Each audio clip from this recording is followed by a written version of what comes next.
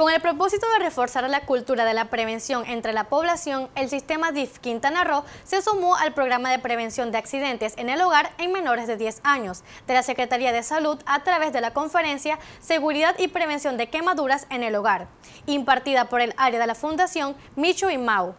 La responsable de Fundación Micho y Mau, Roxana Martínez Torres, destacó que una de las encomiendas de la señora Gaby Rejón de Joaquín es acercar a la población la información y herramientas necesarias para el cuidado de la niñez, para prevenir y evitar así accidentes por quemaduras. Mencionó que se trabaja en coordinación con CESA para poder prevenir riesgos que afecten a la población infantil y adolescentes, ya que la mayoría de los casos que se han presentado por quemaduras han sido por descuido, a lo que agregó que actualmente en el estado se han atendido 44 casos en niñas y niños menores de 6 años.